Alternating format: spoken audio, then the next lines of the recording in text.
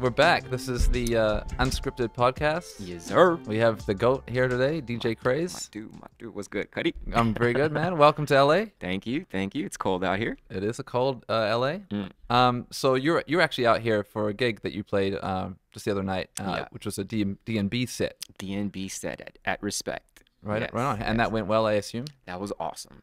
That was mad fun. All the homies came out. Uh, I had done one last year, and I had the best time of my life. So I was like, let's do that shit again this year for the end of the year. How, how like well, that was the last time you did a D and B set? Uh, before this one, Yeah. Yeah. So it was a full year. full, maybe not a full year, but yeah, I think yeah, maybe a full year. Wow. Yeah. So you don't. And I hadn't done one in like ten years, so it was like mad Oh, special. Wow. But you're like you're kind of known uh, as you know producing D and B as well Mm. and and playing D and B. Yeah, But but, the- but I hadn't done it in like a long time. So so like what's the what what are the things that you're what is what is what was what would you, how would you describe the music that you play these days? Um, well, that's gonna change. but you know, for like the last couple of years, I've just been a DJ. I'm just there, pleasing people, boring. you know, just being a DJ, Right, rocking the crowd. rocking the crowd. Right. But like, I'm switching all that vibes up for this year. I'm going back to old craze. I'm going back to just showing up and playing music that I like. If people fuck with it, they fuck with it. If not, don't care. it's the attitude, man. Yeah. Um, and so what what genres are you like listening to, or what's like the inspiration right now? for me, beats like that whole new movement, Ivy Lab, Shades, Shield, uh, EPROM, Alix Perez, uh, Ballatron, myself, like yeah, just all that stuff. Like, you know, they call it halftime, but I'm like, it's not halftime drum and bass. It's not like, it's more soulful and organic beats. Like it's more like what J Dilla would be doing if Mm. he was into drum and bass. It's more. I mean, just listen to Ivy Lab. You'll you'll get the vibe. Right. It's like kind of. I mean, you've played, you've played a lot of different genres in your Mm. routines and and on and on- in general a lot. Um, and would you consider that like a continuation of like genres like dubstep and things like that, or? Kinda. It, it has influences of bass music and boom bap. Right. So that's what it is, and that's what attracted me to it. I was just like, wow, the the two things that I love about music, the the two things that like made me happy when I was young.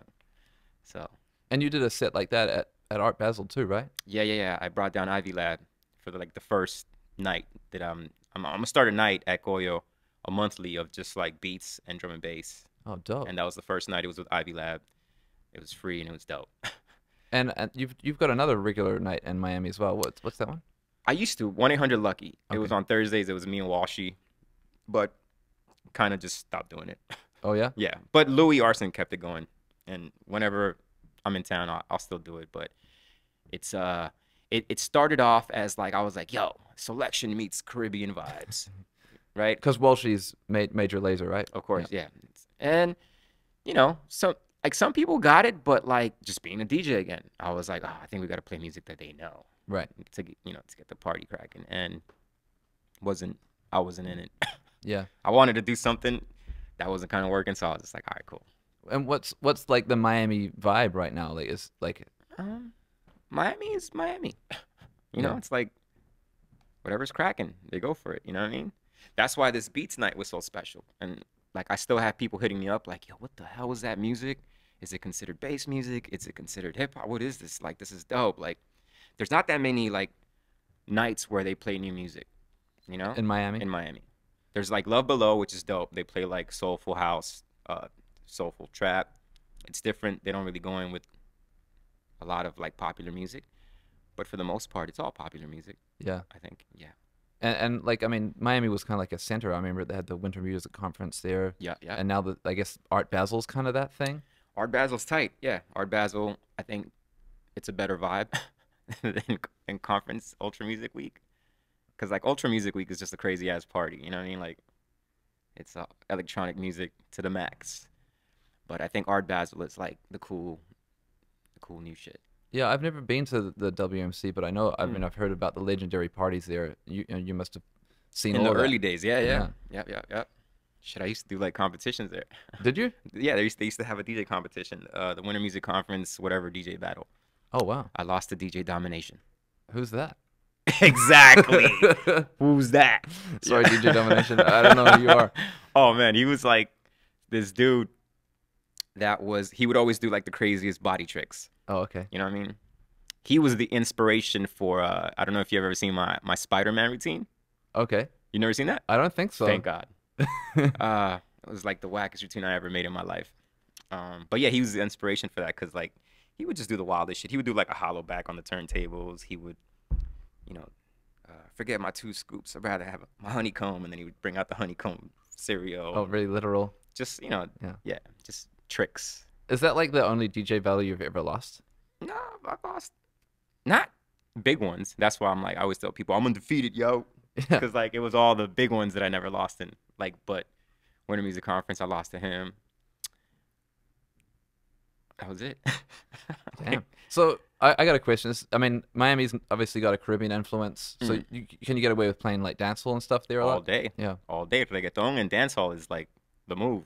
Yeah, because that's and I mean, maybe I'm just being a bit naive, but in my Mm. experience, it's not necessarily welcomed with open arms at a lot of parties in, in the states, except in certain cities. Yeah. And Miami would be one of those cities. Yeah, I mean reggaeton is pops off in Miami, Right. Yeah, and dance dancehall, of course, and yeah, And is and what else is like? Is there any other like genres? I mean, obviously Miami bass from Miami. Miami bass doesn't even pop off that much in Miami Really? because it's so old now. Right. You know, the kids don't know it, and it wasn't like there was like new Miami bass. you know what I mean? Right. So the old heads get it, but the young kids are just like, all right, this is like my grandfather's music. Wow. you know what I mean? Like It's a shame. it is because it's dope party music. Actually, Red Bull did a Miami bass night.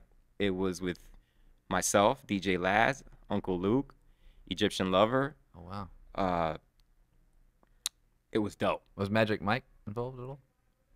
Was he? No, no, he wasn't in that one. Nah, nah, he wasn't in that one. But it was nuts, and the vibe was dope. Uh, it was hosted by Yes Julz, and it was dope. Yeah. So if like what what would be the quintessential Miami bass records if you were to play them, in your opinion? In my opinion, Poison Clan, Dance All Night, uh, Uncle Luke, I Wanna Rock, Uncle Al, uh, Bass is Gonna Blow Your Mind, Magic Mike, Drop That Bass, Anquette, Shake, uh, Shake Do the 61st. That's the one that's like, hold up, wait a minute, let us put some boom in. um, yeah, those are the party rec, like the Miami bass party records that I love. Like those are the ones that I like. If you're from Miami and you hear these, you're gonna get a reaction. Or a- actually, uh, freestyle, don't stop the rock. Okay. Yeah. So- So it's not Miami bass, but when you works. play that in a Miami bass party, it's the one. Right tempo and everything, Yeah, right? yeah, yeah. yeah. So like when you were growing up, you, you grew up in, in Miami, and Mm-hmm. around that time, that was like what eight- 80s, 90s kind of Uh-huh, time. uh-huh. Um, like what was it like? What were those records like when you heard them for the first time? It was dope. It was um, it's it it's what was playing on the radio. It's what my brother was playing in his car.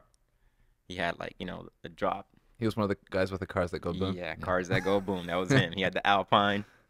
He had the 18 inch woofers in, in the back. And it was dope. It was like, you know, this is before internet and all that shit. So Miami had that vibe. It's like Miami bass was our music. Mm, We didn't fuck with hip hop because that was from New York. right. We fucked with Miami bass and we fucked with freestyle music. And that's that's what they were playing in the clubs. I couldn't get into clubs, so I was just listening to my brother like come home telling me, "Damn, when they played uh Tuff Crew, my part of town, fights broke out." I was like, "That's cool." and you know when they played like I don't know, fucking just you know all the shit that was playing on the radio, he's you know he would just tell me about it and I was like, "Wow." And then when I was 15, I snuck into a club and I saw Magic Mike. oh wow. That was a game changer right there. Uh, but then, like you know, when I was getting when I was getting old enough to get into clubs, hip hop took over. So, Miami bass and freestyle was just just when I was like in elementary and middle school. But when I got to high school, it was all hip hop. But Miami, Miami, Miami-based DJs. I mean, Magic Mike himself. He, he like. did- I saw this documentary recently, and he's like up there with a, a, a an 808, and like he's DJing like old samples to the 808. Like the the level of DJing that that kind of music introduced Mm. was really high. Like, Mm. I mean, was that? And you know he was the first platinum recording artist in hip hop. I didn't know that. Yes, he was. Wow, Yes, he was. That's crazy. Yeah, yeah. It- I think it was for Magic Mike Cuts the Record or one of those things. Oh no, Bass is the name of the game. The blue cover. I might be wrong. I will Google it later. But yeah, he was the first platinum recording artist. That's so dope. Mm. And, and I mean, like, uh, like I was saying, his his DJing, he's a he's a killer DJ. Oh my God, his cuts were like his cuts, DJ Laz's cuts, uh, Jealous J, Jock D. Those were the guys that I I was like, I want to be like them. I want to do all that, all those like I don't know what the fuck those cuts are called, but you know those like Miami bass cuts. So that was the. Fa- I was, would you say that's a foundation kind of genre for you and For me, yup. DJing? Yeah. For me, hell yeah, hell yeah. DJ Laz, hero. Wow, I would listen to him on the radio, and I was like, I want to be like Laz. that's dope. That was the man. And then so like, when you when you started DJing, when I know we're not, I'm not gonna go down this rabbit hole too much. I know it's kind of boring, but but the boom bap stuff started coming in, Mm. and then um, and then you've obviously. But when did you get the taste for DMB? Like, how did that happen? Oh, DMB came way later. DMB came in. Uh, my first time in Europe was Munich, and uh, it was I think '96 or '97. And some dudes just brought me out there because they heard a mixtape, right? And they were like, "Oh, this guy's dope." So like, we're gonna bring him out to Munich. This is before you did the you'd won? DMCs. Oh wow. Yeah, yeah. Uh, this was before that.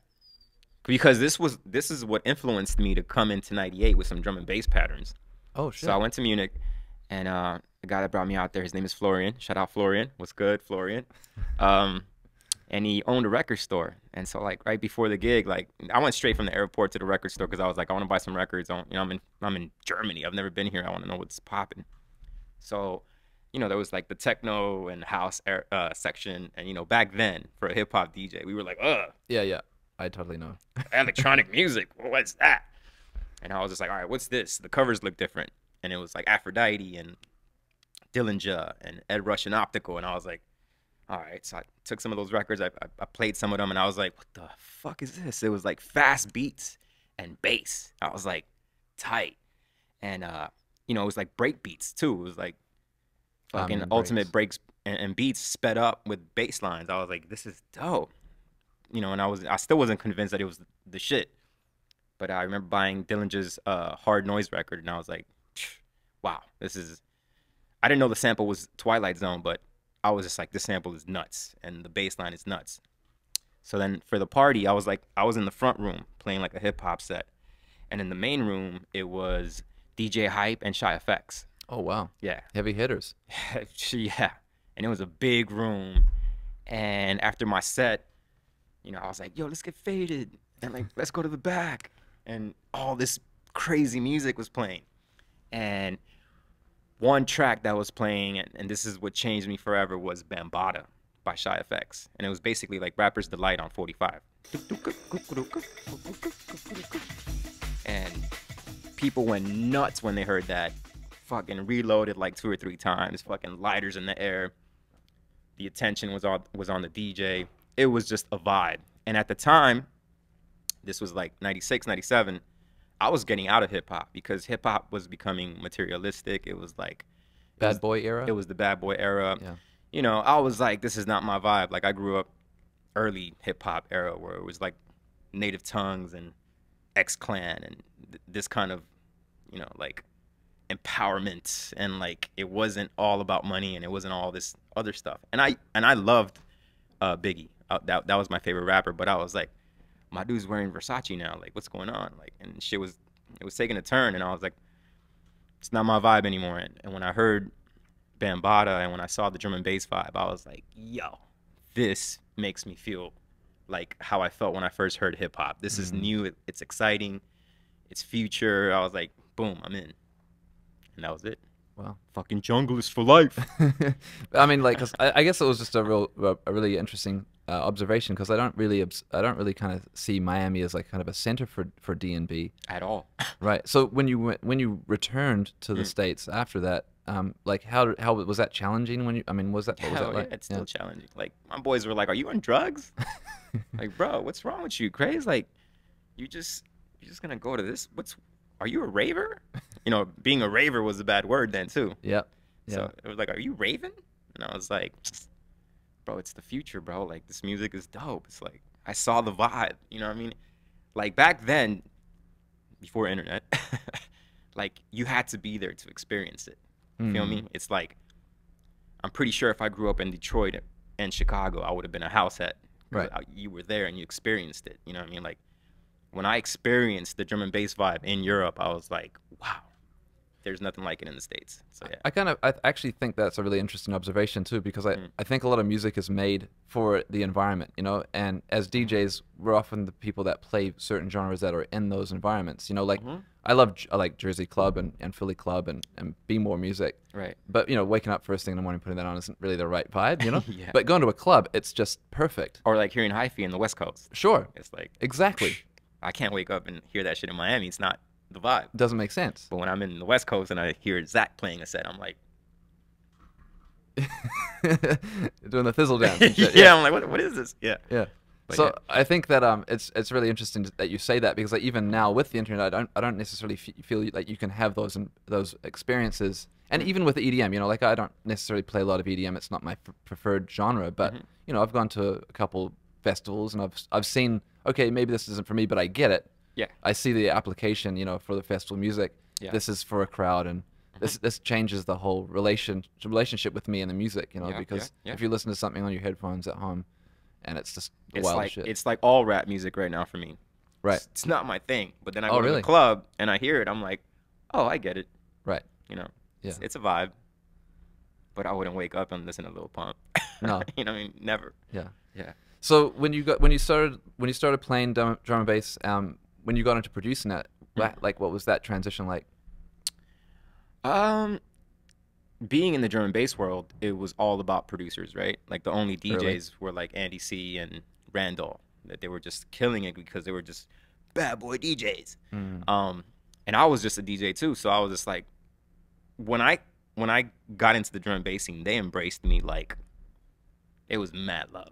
You That's know I mean? awesome. Like they were just like, because to them it was a DMC hip hop boy co-signing them, Right. you know, and it was it, for them they were just like, this is dope because, you know, they, they weren't coming to the states like that, so they were Mm. just like, oh shit, he's gonna make this thing pop off over there or, whatever. Or I don't help know what the cause. or help yeah, the yeah. culture. eh, You know, I whatever the reason was, they embraced me and it was mad love and that made me be like, all right, fuck it. I'm gonna fucking push it even more now because like y'all fucking showing me love and it's dope.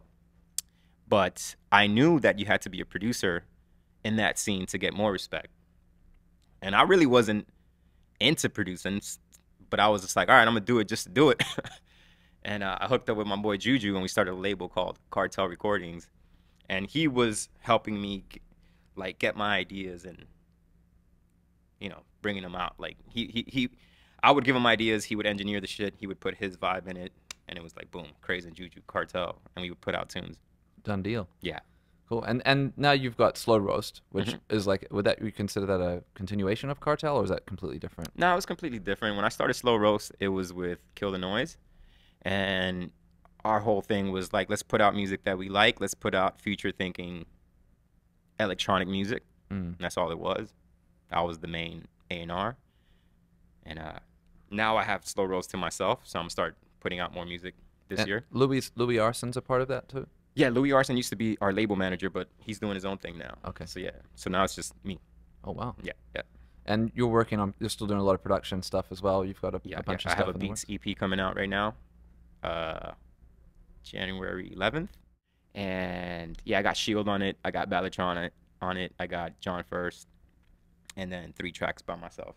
Dope. Yeah, Awesome. all beats, all that vibe. Cool. Yeah. And and you also work on production with Zach as well, right? Full Zach, yeah, Two yeah. Cents. He just sent me a new one that I was like, wow, this is big. Yeah, man. That guy. Speaking of production, got I, I just knew him as a DJ for the longest time. Then his Mm, mm. production, just you guys, what you guys have been doing with Two Cents is is insane. Yeah, the earlier stuff wasn't as dope because I was engineering a lot of that shit. but he's his engineering has gotten crazy. So like now it's getting good. That's like the last couple things that we put out, we put out one tune with Flosstradamus on on on on Hoodie Nation. Um, not with Flosstradamus. Um, but this new one is dope and it's house. It's Oh, even- really? Yeah, it's house. This one is it's big. wow. So so you mess with house too? Like Yeah. you play? Yeah. I don't play house music, but Two Cents for me is a different project than what I do by myself. Mm. Like for Two Cents, I want to be like fucking leading the DJ movement with everything, you know. But Craze is completely different from Two Cents. Okay. Yeah, and for this, any everything I do with Zach, I want it to be the best DJ shit, Pushing it forward. pushing it forward, but all genres and for the masses. Right. Yeah. That's kind of the mentality behind the whole good DJing is important. Yes. Yeah. Yes. Yes. He came up with that one. It's a really strong message. That guy's a genius. Yeah, no, he is, and, and honestly, I got to give him a, a massive thank, uh, shout out and thanks, because I feel like you know a lot of the, the, the fact that you're here, even Mm. you know, doing this interview is is a, a, a great deal to do with him as well. Yeah, that motherfucker. Yeah. Shout out Zach. Shout out Zach. Yeah, yeah. And how did you guys even meet? Actually, yeah, this is a question I wanted to. I Uh, wanted to know. he has a different story. I don't. I'm. I'm getting old. I forget exactly how it started. What I think, how I remember it was, I heard him do a mixtape. Uh, a, a mix. Sorry, not a mixtape. A mix on one of these LA stations, and I was just like, "Holy fuck!" I had known of him. He was he he he had been down with Fool's Gold for a minute. But this mix, I heard it and I was like, yo, the thought put into every mix and like just his transitions and like his wordplay, I was like, whoa, you know, that's the the lost art form. That's what I used to like about hearing like Hubert mixtapes, Babu mixtapes, all Be Junkie uh, mixtapes. You know, that's what I used to love about mixtapes. And I was like, he's doing that, but in a future way, with future records, with with records right now. And I was like, all right, shit. I hit him up and I was like, yo, that mix was dope. And then I saw his. What year did he win Red Bull? 2013 or 12. Yeah, it was one of those. Yeah, yeah, yeah. Headspin, I think, was 2011, so it must have been 2012. Yeah. I saw that set and I was like, this fucking guy. And like for me, like I just want to be around the best DJs because that makes me better. So I was like, I hit him up. I was like, yo, we should work on a mixtape. He was like, okay, what do you want to, what what direction should we go in? And I'm like, uh, it has to be the best mixtape of all time. And he was like, No pressure. okay. And I, was I was being like serious. I was like, got to be the best mixtape of all time. I want it to be like social. I want it to be fun.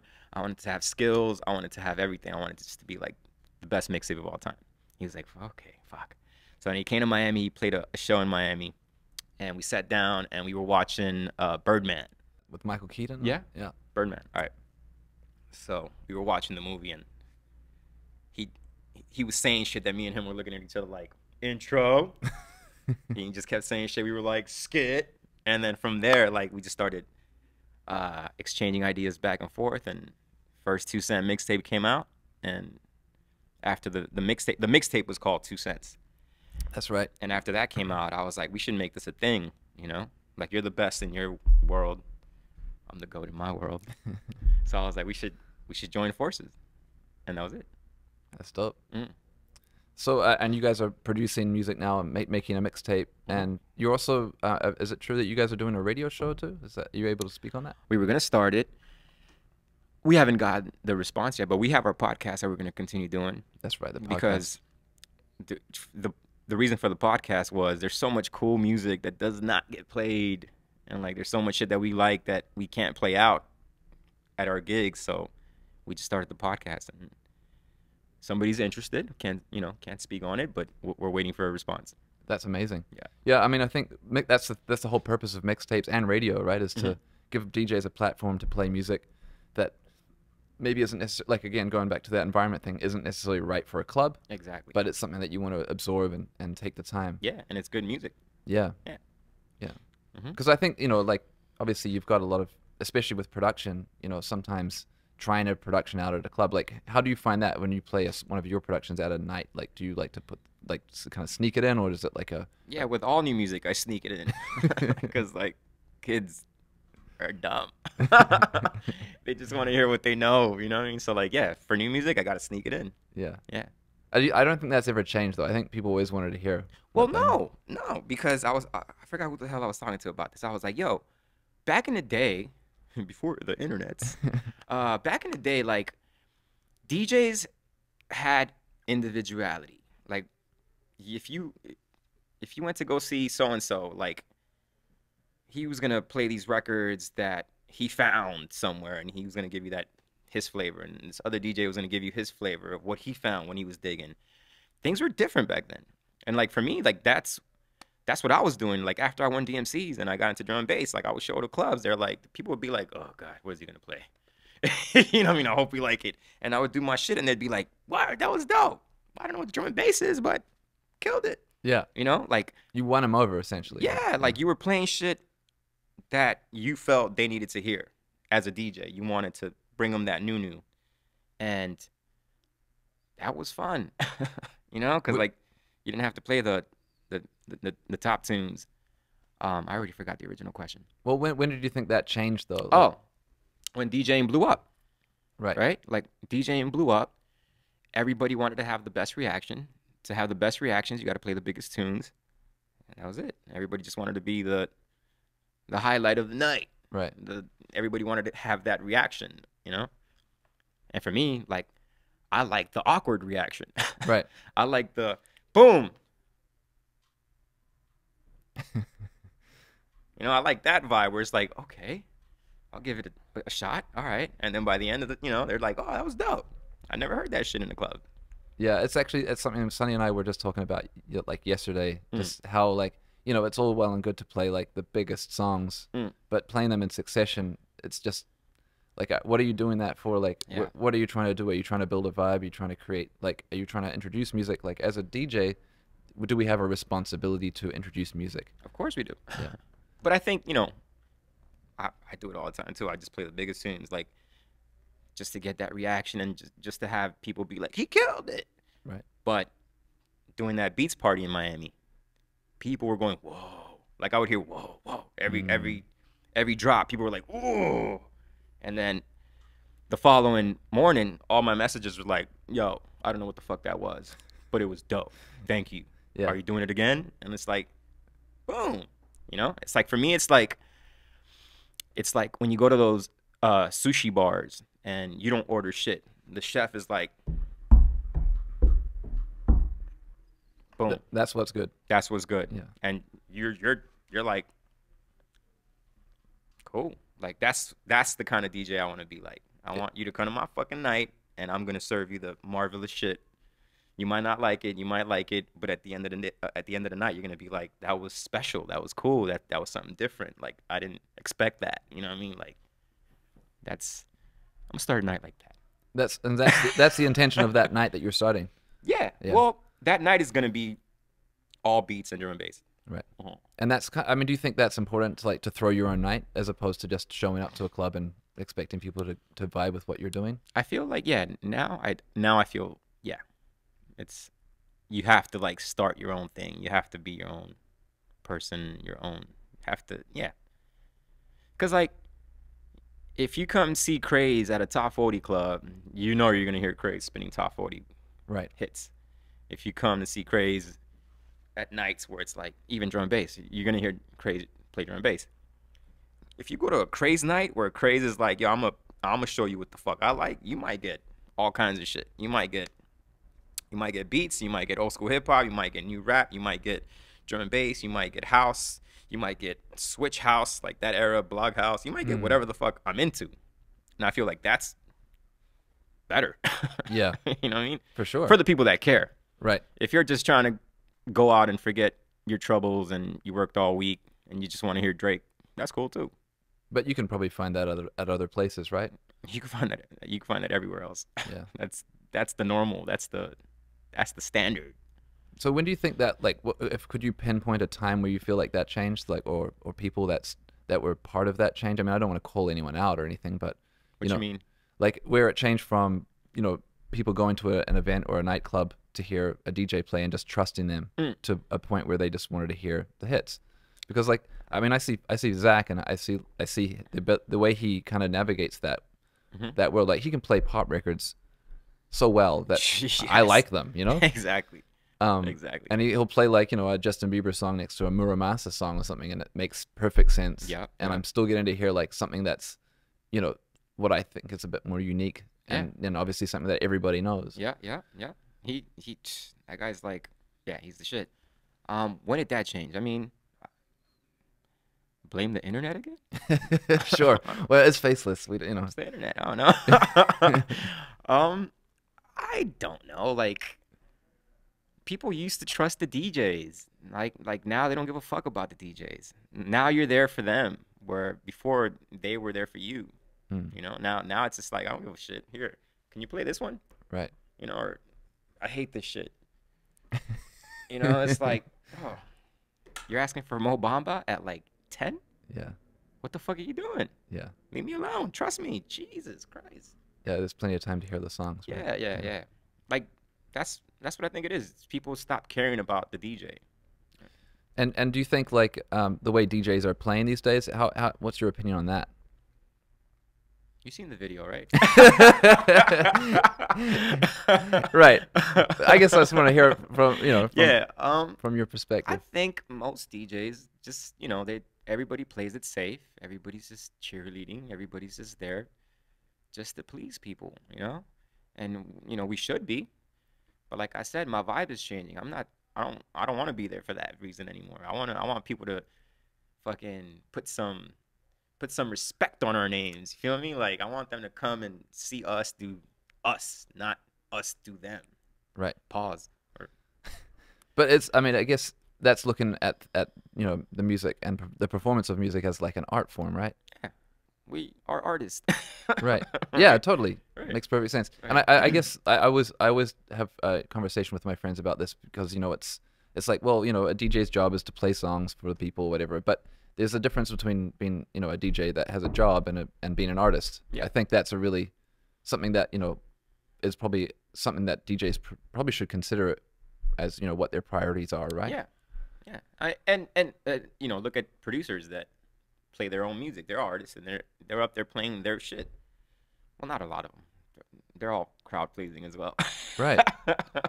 but you know, I I respect like DJs like producers. I'm sorry, producers like TroyBoi.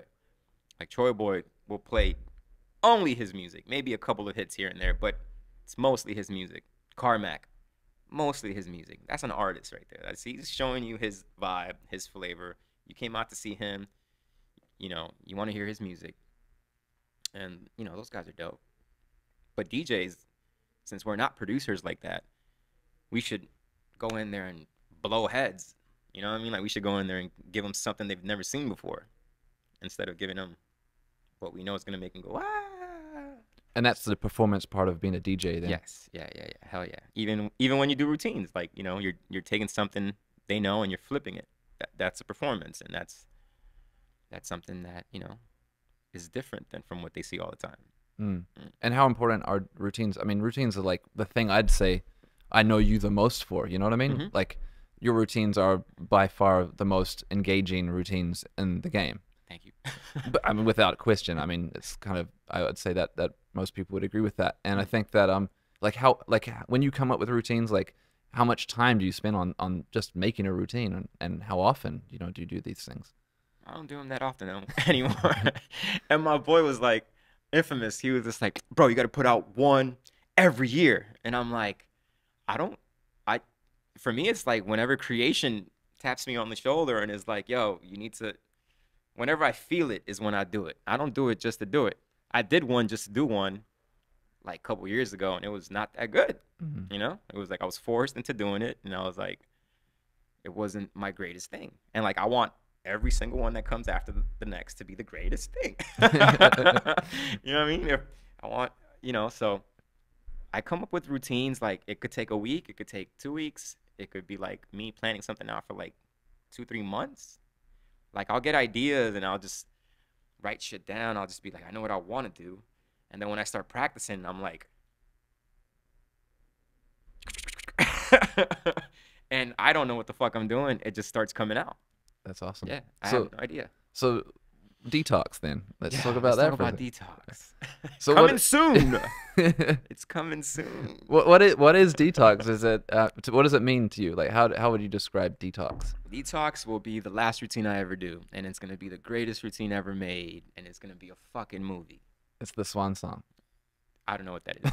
it's true. Yeah, I guess it's your final hurrah. It's, it's my, it's my. Hey, look, I've done it all.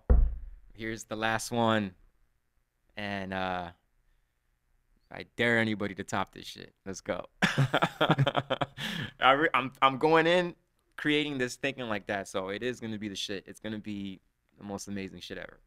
But so it's coming soon. It's coming soon. It's coming dot soon. dot dot. dot dot dot. That's dope. but it is coming soon. I'm not fucking with y'all. It's coming. It's coming. Mm. I have the intro ready. I have all the ideas ready. I haven't created the part that I think is gonna blow heads, but it's in my head, so it'll come out. That's cool. When I was watching um Goldie Awards earlier this year, I heard uh it was really a really great moment in that broadcast where you and A-Trak are talking, Mm. or I guess A-Trak's talking about you guys meeting, Mhm. and he was saying something to the effect of like he he realized that you guys were gonna battle or something, and he was like, I don't want to battle this guy, same, same. and so you guys came to an agreement Yeah. that you guys wouldn't wouldn't battle each other. Is that yeah, right? Yeah, 97. Yeah. Um, I had known of him, so I was like preparing for him. And then when we were in the practice room right before the competition, you know, he did his thing. We were like, "Look, we're already here. Might as well show me what you're gonna do." And we were like, "All right, cool." So he started doing his shit, and I was like, "Fuck, this guy's getting good." You know what I mean? Like, cause he was just a little kid. Yeah. I mean, I wasn't that older than him, but I was already like, you know, seasoned battle dude. And I was like, yo, this guy's a problem. And I know he was with the Piklz, but he wasn't active in the Piklz. You know, he was like an honorary member. And like we were starting the allies. And I was like, bro, I don't want to battle this guy no more. Like it's too much stress. and he has too much hype. And, and I know where he's going with all this shit because he just kept getting way better and way better. So I was just like, bro, when you get back to Canada, just think about joining the Allies. I'm I'm sure Develop will co-sign. I'm sure Infamous will love to have you in the crew. I would love to have you in the crew. I'm shook. I don't want to battle you no more. I think it's a better idea if we got together and we just killed everybody. And he was just like, I'll think about it. I'll talk to Qbert. And then boom, that was it. And then you guys did a, a succession of releases together. You you guys did um, some records. You put out some records, right? Uh, battle records? Yeah, Yeah, yeah. Yeah. Ammo records. Yeah, yeah. that's we right. put out a, a couple of battle records. P-Thugg designed all the covers. Oh, really? Yeah. I did not know that. Yeah, P That- Thug designed all the the Cash Money era covers. They were great. Yeah, they were amazing. Uh, yeah, uh, that was good times. And then you guys did. I think I've talked to um A-Trak about this too. But you guys did the beat battle, the beat down. L- Yeah. Allies, the beat battle. Yep, the beatdown. Yeah. That shit was dope. It was uh, invitation only. Like we picked all the people that we thought were the the best at the time. It was dope. The first guy that won, he went on later to become a famous trap producer. That's right. Yeah, yeah. He's uh since announced. that. Yes. Yeah. Okay, trouble. Yeah, yeah. Uzi. yeah. yeah. I thought it was still a secret. yeah. Shout out Uzi. Shout out Uzi. Yeah. Yeah. he was the first one to win the battle. Wait, we only had one battle, Is that right? Just one? or do we have two? I'm think I, I I was. It's either one or two. I'm not Yeah, sure, but I figured one or you two. know. Yeah. But yeah, yeah, I, I'm forgetting shit all the time. That's- yeah. And then, so what's up with the allies these days? Like, is it still a, a crew? Like, do you guys still have a kind we had lunch the other day, me, Infamous, and A-Trak in Miami. Like it, it kind of like broke broke up for a little bit, but it was like just bullshit. You know, we were young, stupid, big headed egos. you know what I mean? But everybody's cool with each other now. It's it's all love. So yeah, we were thinking about like maybe doing a documentary or some shit like that. Yeah, I mean, what you guys did was so you know ins- in, inspirational to like a lot of DJs at that time, and there was, Yeah. I mean, uh, dare I say it, kind of like the peak of turntablism. Yeah, I think it was. Yeah. yeah. Yeah. So And- yeah, we're, we're, we're thinking about it. I'm sorry, I shouldn't have said it, but No, no, no. It's yeah. a it's a good thing. We're I want I want to I want to make it happen. It just has to be done in the right way. Like, you know, I see like documentaries of like things that happened back then, and I'm like, oh man, we had a dope story too. Like, you know, we were like the East Coast superpower, and like, Zoo York helped a lot with making us who we were because they like offered up the spot to practice in and Zoo York. Zoo York. Oh, I didn't know that. Yeah, that's where we made up all the all the routines and shit. Oh wow. At Zoo York headquarters in New York. Did you guys have anything to do with like their um that skate video they put out called mixtape? I think so. You guys did? I think so. Yeah. Yeah, I think we provided the music or some shit. I don't even know. That was a great. That was a kind of a landmark skateboard. Yeah, and Video. that time in New York with turntablism being at the peak and all of us doing what we were doing, it was so dope. It was Yeah. so dope. And when it was it was the 99 was the only time DMCs was held in the US. Really? Worlds. Yeah. Yeah. Wow. Hammerstein Ballroom. Yeah. Yeah, I mean, it was that was a really interesting time intersectionally. Like all these different kind of cultures were really close, like Mhm. skateboarding, Mhm. DJing, hip hop, Mhm. production. It was like a an interesting time. Fashion, you know, like a lot of things like we're seeing kind of come back now. Mhm. Were from that era. Do you think ESDJ Co is gonna come back? That'd be tight. I was fucking around with Zach being like, yo, we should be the new ESDJ Co. Our shirts sell out like in 30 minutes. That's right. like we should take over this brand. Like, you know, you're like, yeah, ESDJ Co. Shout out. Who do- who who owned ESDJ Co?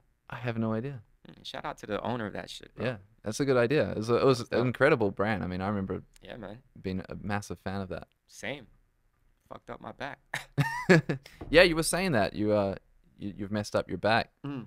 um carrying too many records. Carrying records, doing this shit all day. Yeah, my back is fucked. DJ's got to watch their back. I'm getting old. Yeah, watch your back. Don't do this. Like DJ like this. It's better. It's better for your form. Yeah. Cool. And so what's what's next? I guess with with Craze, what's what's kind of like on the horizon? You got your beat tape coming out, Mhm. doing more podcasts. Doing more podcasts, more two cent stuff. Uh, this year's gonna be really cool. Like I said, I'm going back to just not giving a fuck. uh, I got this little routine that came out. That's tight. Detox coming soon. And uh, more Slow Roast stuff. I'm gonna relaunch the label. More Slow Roast stuff.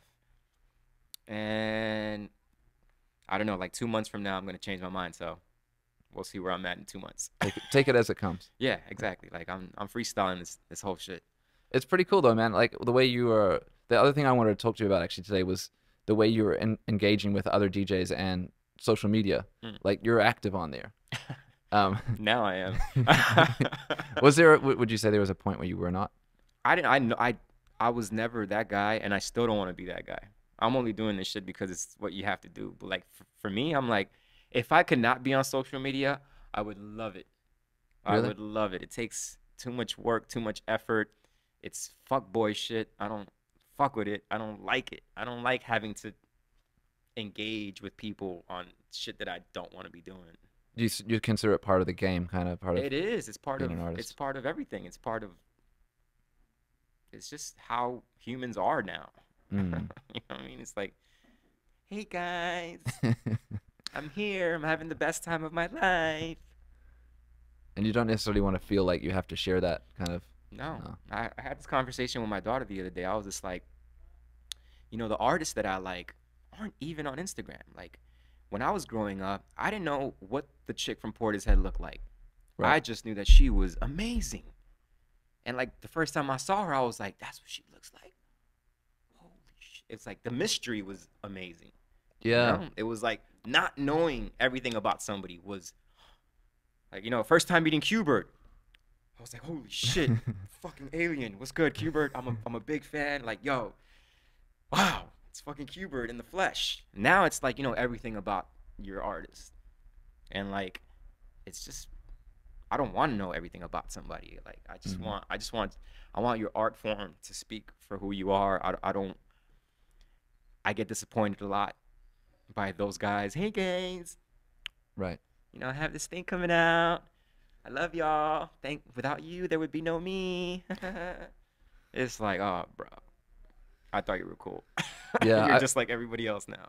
I think that what you what you're talking about with the mystique is really really important because you know even talking to you know like people from an, an older generation than us, um, Mhm. the way they talk about the artists of their generation is just so, like they they they really almost worship them as gods in, in ways, and they think about the way that they you know, com, you know, produced music was kind of like a spiritual way in, in, in Mhm. a lot of ways, and and music is such a spiritual experience, right? Like you were saying, you know, when you went to hear drum and bass, it was really like it, it totally inspired you Yeah. and that's why I guess music is used in in religion and such a big part of like connecting humans together. Yeah.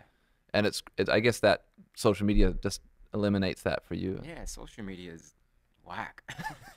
it's so horrible. But in saying that, like you know, you're when you're on there, you know, I see you reaching out and giving praise to like kind of younger DJs, and I think that that's that's really Oh, yeah, awesome. yeah, You yeah. know, I mean, I try to use my social platform to one, bring awareness to a lot of shit that I believe in. Mhm. Two, you know, show love to the future generation. I'm always I'm always bigging up the, the new kids cuz like this is a dying art form. And like if we don't embrace the young kids and big them up and make them feel special, I feel like shit's going to be gone in like 5 6 years. You know what I mean? Like so do you yeah, really feel it's dying? You like, the art form is like I hear the dumbest shit all the time. you know what I mean? Like, oh, it sounds like noise. Uh, just play the songs we want to hear. You know, just I don't know. It's just there's no interest in it from the younger kids until they see some like dope shit. you know what I mean? Like young kids when they see and I hate to be bragging, but when they see my routines, they're like, "What the fuck is this?" Or when they see me in a club, they're like, "We didn't know DJs did that." yeah, And I'm like, word, because you're being fed all this bullshit. You know what I mean? Like you're not being fed the real shit. Mm. Because the real shit to the masses isn't cool because they just want to hear one, two, three, jump. Right. So, you know, it's like we have to embrace the new kids that are doing cool shit and that are like going against the grain and like, you know, doing cool shit. who, who are some of those new kids? Would you say? Uh, you know, K Swiss, uh, uh, Rena, uh, Livia. Like, I feel like she could be a problem Right. in the future. Um, and it's weird that it's like kids, and then there's this gap, and then us old heads. Yeah. you know what I mean? Like, it's like, where the fuck is in between? Like, did everybody just become producers for that 10 year range? You know what I mean? Like, but yeah, those kids are the ones. I'm going blank right now. Who's dope right now? Who do you think is dope right now? I think like I mean I it's one of the first people that I I, remember you like really picking up on social media was Manuel.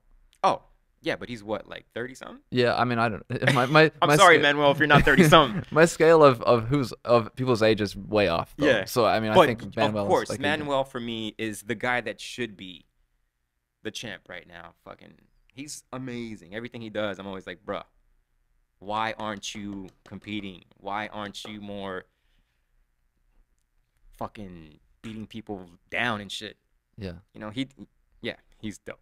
yeah. And I saw I mean Buck Buck who won the beat battle. Buck Rogers. Yeah, Buck Rogers. Oh yeah, yeah, he's dope. That was really like I've we we definitely like had an eye out for that guy for a while because he's Yeah. been killing it. Um. He murdered it so so hard at, at the Goldie Awards. It was undeniable. I was like, we just looked at each other like, yep, he won. yeah. Um. Homie from um New York. Uh. Younger guy. I can't remember his name off the top of my head. Wells, Dwells. That's the guy. Wells is dope. Yeah. He's kind of on the younger side. I don't know how old he is either, but Yeah, yeah. um he's uh, when I I remember seeing him just he's killed routines this year and Oh, he's a beast. Yeah. Uh, there was somebody else that I was thinking of right now. Shit. Oh, Brandon. Brandon Brandon Duke. Yeah. He's gonna be a problem. Yeah. He's gonna be a problem. And I, I mean, I guess that's what's so good about like the Goldie Awards is like seeing people having a platform and Mhm. and and you guys all like kind of supporting them in that way, you know? Mhm, mhm. Yeah, and it's like a combination of turntablism and beat making. Yeah, So it's like we're trying to push both boundaries, and like yeah, yeah. I I, th- I mean, again, just going back to that, um, you know, the art of turntablism and and and where it is right now. Um, I was I was having this uh, this discussion. I have it a lot actually about, you know, what it is to to be a turntablist. Like you don't even need to necessarily be a turntablist, but approaching DJing in a creative way is really really important because not only do you uh, not only is your job to play music to you know you know satiate a crowd or whatever, but it's to have a difference, a point of difference. Mm. And you know, like turntablism came was born out of that. yeah. You know, like when people would go and see Jazzy Jeff, he'd be doing crazy shit. The goat. Yeah. Oh, yeah.